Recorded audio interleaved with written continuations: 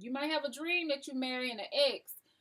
That don't mean hit them up on Facebook or hit jump in their DMs or let them back into your life because they might marry you.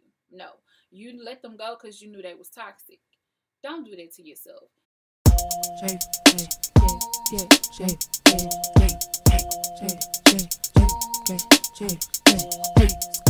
It's another one for real. K Chavis, I call you for real because you're the truth. Everybody, welcome back. It's just Kristin Chavis, and I'm so glad that you guys are here with me today. We're going to talk about car dreams some more and also wedding dreams. All right. Um, if you're a first time visitor, make sure that you hit that subscribe button and also that notification bell so you'll know when you'll get a new hot video about dreams, comedy skits, or whatever, because it's just Kristin Chavis. All right. And if you are returning back, hey, how you doing? Okay. I'm so glad that you're here with me. All right, so let's uh jump into prayer and then we'll get started, okay? Father, we just thank you for your presence. We thank you for your power. We thank you that your word is true. We thank you for revelation. We thank you for answered prayers, Lord. And God, we just thank you, Lord, that um, you're going to speak through this video and touch someone's heart today. Father, we bind confusion. We bind um, the spirit of lust. We bind uh, issues with pornography, Father God, in the name of Jesus.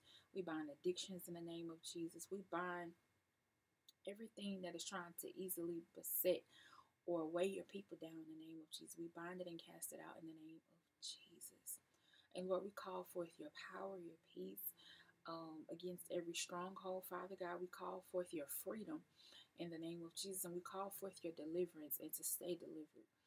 In Jesus' name, God, we ask that you um, speak through me, Father. Make my thoughts your thoughts, my ears your ears, my tongue your tongue, and my spirit your spirit. In Jesus' name we pray. Amen. Whew, thank you, Lord. All right. So, car dreams. Okay. So, last week we talked about car dreams and also we dove into um, dream interpretation. And you always need to remember that when you have a dream, not to assume that it's about someone else, but make sure that you assume first that it's about you. No matter who's in the dream, um, familiar or unfamiliar, just assume that it's about you. And don't just write it off. If it's weird, don't just write it off like, oh, I must have, you know, ate something bad. No, God is really speaking to you and you need to pay attention. Also, if you have a dream, write it down. Make a voice note. Um, write it in a journal. You can text it in your phone. Just write it down because you never know what God is saying. Um, and how you can go back and interpret those dreams later. It's all a compass to help you, okay? So, we remember that um, you don't assume it's about you, but most of all, when you have the dream, think about what was going on with you personally before the dream, the week of the dream, the night before the dream.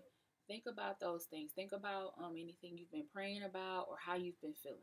Okay, so the next part of car dreams, remember cars represent your life or your ministry. Okay.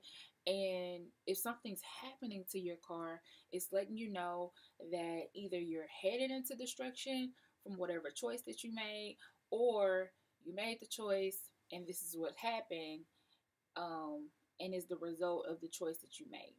Okay. Um, so I had this dream.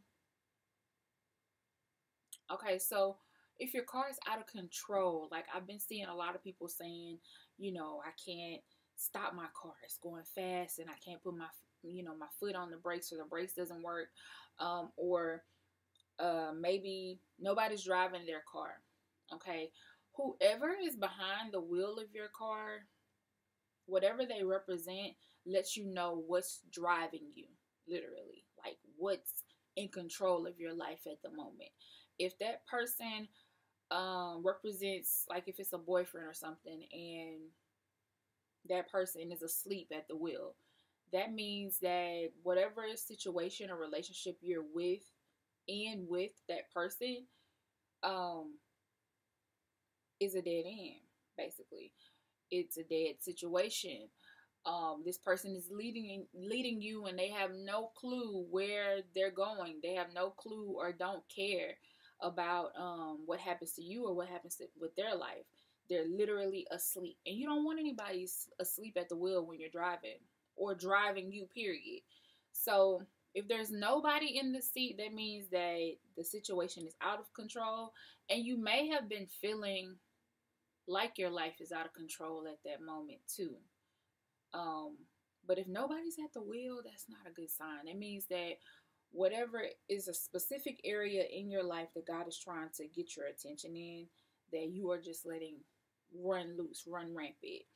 Um, for me, I had a dream that my mom was driving me at first, and my mom always represents like my spiritual side, or I say the preacher side of me.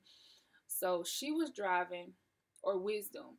She was driving, and then she got out the car and she started checking the tires. Okay, but the car is still rolling. So I'm like, Mama, what are you doing? Okay, and I noticed that the when I try to get behind the the steering wheel, the steering wheel is up high, like really really high, and the seat is pulled up. And my brother's he, he's in the back seat. He's his younger self, and um, he represents my dreams, like aspirations in life. And uh, I couldn't get behind the wheel, and the car is rolling into oncoming traffic. There's a it's a nice little ways before you get to oncoming traffic, but it's something you need to think about. So I have to ask my brother to help me, and I get the seat pulled back, and then I'm able to pull the steering wheel down and actually stop the car from rolling. Okay, so what was happening in my life at the time of the dream is I had just figured out um, that sugar sugar could be an addiction. I was addicted to sugar. Um, so I started cutting back on sugar like majorly. Like um, I had signs of pre-diabetes starting to form. Like my neck was starting to get dark on the back, and all the you know things of that nature. Signs of um that you have too much sugar in your blood. So I got that under control. My husband as well, and I have this dream, and the steering wheel being up high is the blood sugar.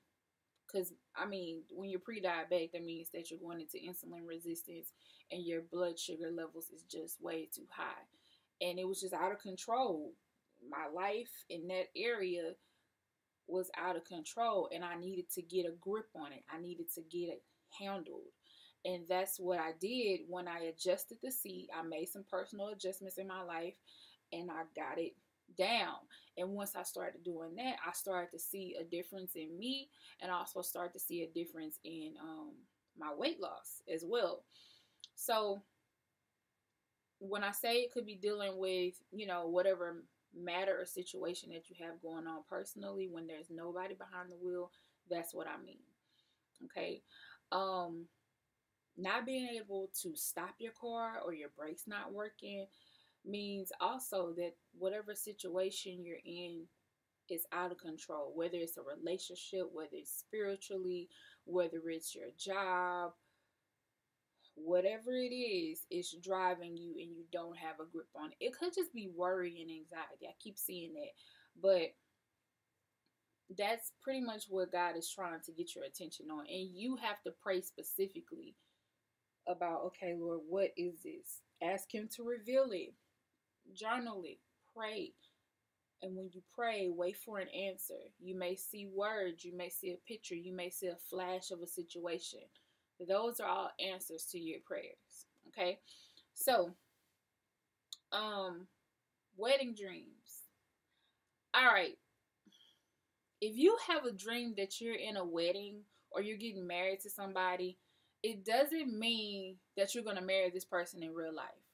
So don't be like me, going shopping for a wedding dress because I had a dream that me and this person got married, and I'm going shopping for a wedding dress. This person ain't even proposed to me. I ain't got no ring. I don't have no receipts, no nothing, and I'm shopping for wedding dresses. Why? Why did I do that? Because it seemed so real, and at the time I was spiritually immature, and I was taking those dreams literally. And this is when I first started really dreaming And no one had ever taught me that, you know, dreams have a spiritual meaning and God's trying to get your attention. So when you're dreaming about weddings, this is literally God trying to get your attention and say, hey, I'm over here. Like, you need to pray. You need to spend time with me. You need to worship. You need to just get into your word or some quiet time so that I can speak to you. And I just want to spend time with you. Um, we are his bride, the church. And Christ is our husband or the groomsman. And um, scripture talks about this. He always relates us to us being his bride, his church.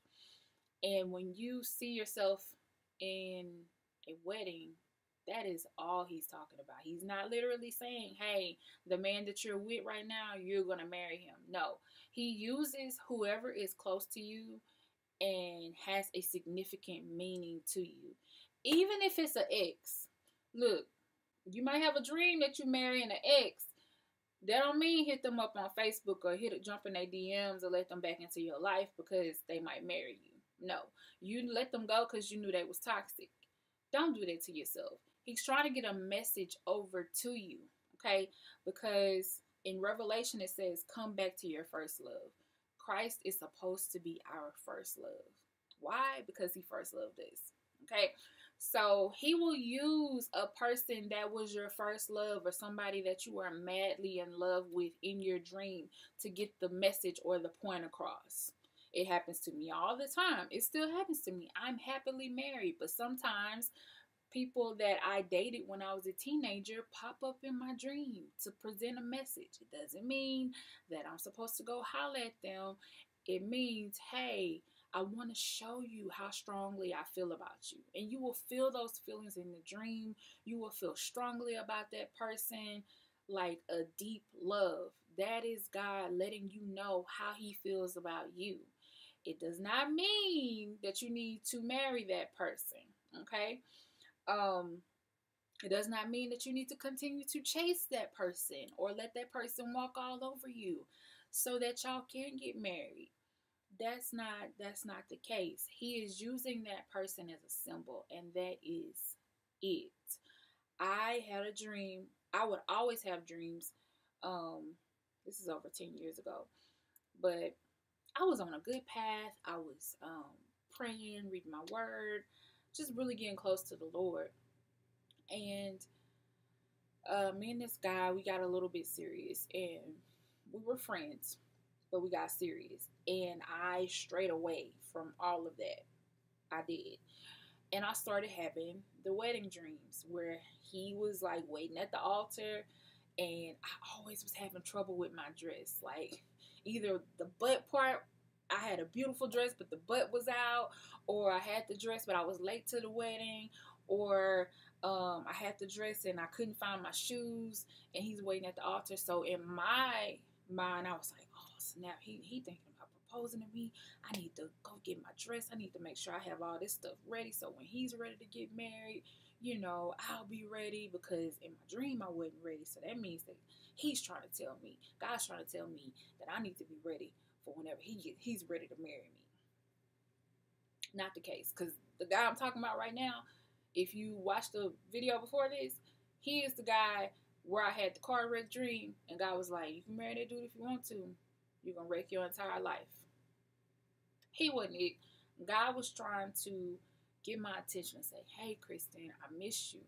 Come back to me he's not the one. He's not it. He's not what you think he is. But I had feelings for him. So he was using him as a stand in for himself, Jesus Christ.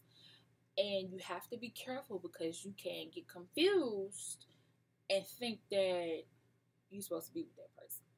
And I just, I keep seeing this that some people have made decisions about their life based on seeing yourself marry this person in your dreams. And I've talked to many people that have had dreams like this. People, some of these people are obsessed with people they ain't never met, thinking, "Oh yeah, he gonna be my husband. He gonna be." No, no, y'all don't even talk on the phone. Y'all don't even text. How is he going to be your husband? Or you have a dream that it's a celebrity and you're getting married to them. That doesn't mean you're that's to be your husband. Okay? And I'm seeing even um, dreams where you're intimate with someone. And you may be intimate with someone that's not your husband or someone that you're not currently with. That does not mean that you're supposed to try to hook up with that person. God is using that person as a symbol because our relationship with him should be intimate. Our relationship with him should be on a deep level. He uses those things that are familiar to us to get the point across, okay? There is no closer relationship to have with the person than being intimate with them sexually. That is very close, that is very personal. So if you've had um a very deep prayer session, a very deep worship session, and then after that you have a sex dream or a dream where you're intimate with someone, it does not mean that um, God is you you have a lust problem or the devil's trying to tempt you or um, you should go cheat on your spouse. This is just the Lord using a person that you may not know. If you're a woman, it'll be a male. Or um, maybe it's something that um, you're trying to do. He's using that person as a symbol for you. Look, you're you're going in the right direction. That's what it means. You're going in the right direction, and you, you need to continue to go in this direction. Case in point, um, I pray about what I should do on social media. I pray about what I should post, um, how I can make a difference. So when I'm consistently posting and doing a great job, most of the time I have a dream that I have a closely intimate relationship with a popular YouTuber, Instagrammer. Okay? And this guy, he's a comedian and he posts consistently. He has a big following. He has over a million subscribers. I do not want to be with him ever. Period. Like I'm not even I'm not attracted to him. I know he's married, so the dream is always weird. Um, and even in the dream, I'm thinking like, but I'm married and he's married. Like this ain't right. And he's like trying to be close to me and trying to do all this extra stuff, and I'm like, nah, I don't know. But when I wake up, I'm like, okay, what does he represent? Oh, I'm doing a good job because he wants to be close and intimate with me. Does not mean that I need to jump in his DMs and try to hook up with him. No, no, it's not literal. It's just God giving me a thumbs up saying good job. Okay. Um, if you have a dream that you're intimate with a male figure and and it's not your husband and you're married or single or whatever, a male figure. Males represent leadership, but oftentimes, if you know who this person is, think about what they represent to you. Okay. Um, once again, it doesn't mean that you should go after that person. Just think about what they represent to you. Um, if it's a female, females are um, represent the creative side, the prophetic side, the spiritual side. When I say prophetic, that means like receiving revelation from God. Um, sometimes even as a woman, you may have a dream that you were intimate with a woman it does not mean that you have homosexual tendencies or you should cross the fence or that you're dealing with the spirit of lust or that um, you have issues. Okay. It is all symbolic. And I've had these dreams and I personally don't like them, but I understand if you um I understand what they mean. Okay. And usually I have a dream like that, like where there's been a serious breakthrough, or maybe I was like in some really deep prayer warfare. I ministered to somebody um, about something that God maybe has been trying to get through to them. And I may have a dream that I'm really close with a woman. And like I said, it's my least favorite um, dream to have. And I've even prayed like, Lord, really like we we we gotta show it like that. We can't we can't do it. You can't show it show it to me another way. I get it though. I get it, but okay. so uh, everybody may not have dreams like that, but I know for some people it may make you panic. Like, oh my gosh, like, uh uh the devil trying to get me. I need to go. I bind the spirit of lust. Like, it make you want to go in, but it's not that. If you, especially if you had a powerful spiritual moment the night before where you did ministry or whatever, you may have a dream like that. I'm gonna just be real. It doesn't mean that you off. It doesn't mean that you're under attack. It's just you did a good time. You good job. You did a good job. You're really flowing. You're really flowing in your prophetic gifts. You've gotten really close and intimate. Like intimacy is just to show you how close you are or how well you were flowing in that particular area. That's it. It's not meant to be sexual at all.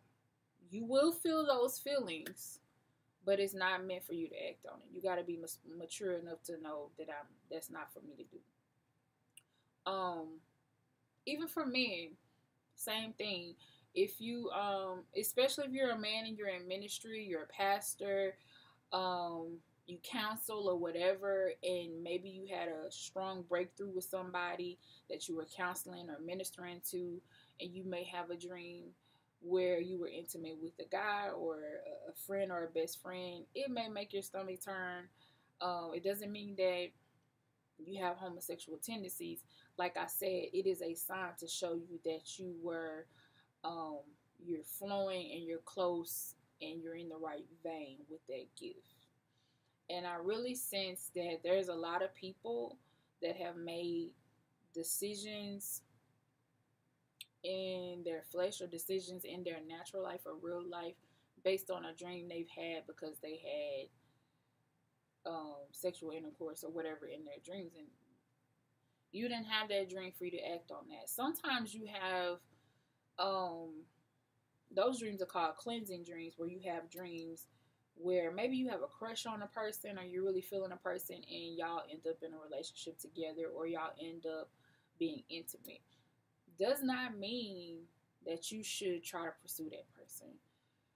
Sometimes with cleansing dreams, God's just letting you a dream is a safe place to release all of that stuff that you got on the inside of you that's stored up and release that and let that go. Okay?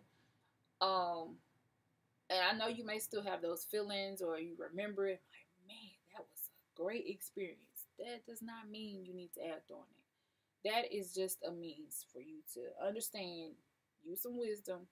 Okay, that happened in a dream. I need to let that go. Okay, you can enjoy it in the dream. Move on in real life. That should be on a t-shirt. Um.